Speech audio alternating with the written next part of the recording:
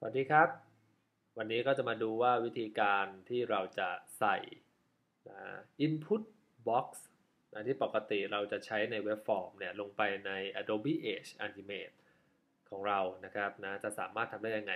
วันนี้นี่เป็นวิดีโอที่อัดขึ้นอย่างรวดเร็วนะครับนะเพราะว่ามีคนถามเข้ามาแล้วก็แท็กมาเรียบร้อยนะครับนะมาดูกันดีกว่าว่าเราจะใส่เข้าไปยังไง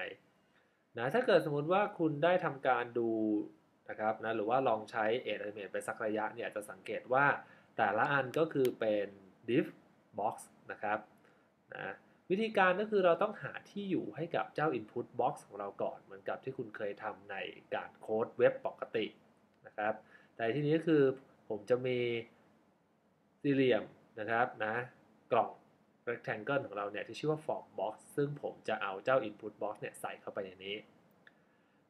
และถ้าเกิดคุณทำงานกับ Edge Animate มาสักระยะ จะพบว่ามันไม่มีนะครับพวกเครื่องมือใส่ element ต่างๆนะเหมือนใน Dreamweaver นะครับเพราะ Edge Animate ยังพัฒนาอยู่อย่างต่อเนื่องนะครับซึ่งพอมีอะไรใหม่ๆเนี่ยเขาก็จะค่อยๆ ทยอยใส่เข้ามาแต่ถ้าเกิดคุณต้องการที่จะใส่ input box ลงไปใน Edge Animate ตอนนี้คุณจะทำผ่านการใช้สคริปต์นะครับเราจะไปดูกัน อย่างเช่นผมไปที่ state นะ add action เป็น creation complete ผมก็สามารถที่จะนะใช้ jQuery เนี่ยสร้างนะครับ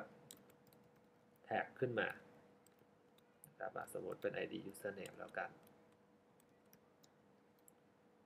แล้วก็ใช้ API ของ Edge Animate นะครับ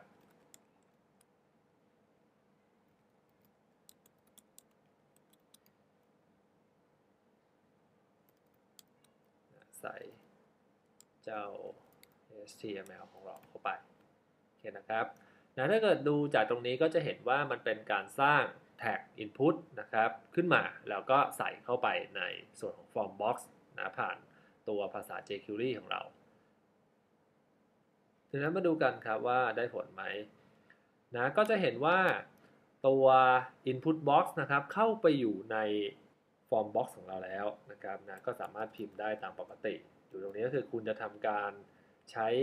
CSS อะไรสไตล์ปรับแต่งอะไร ก็สามารถทำได้เพียงแต่คุณต้องทำผ่านสคริปต์นะครับนะ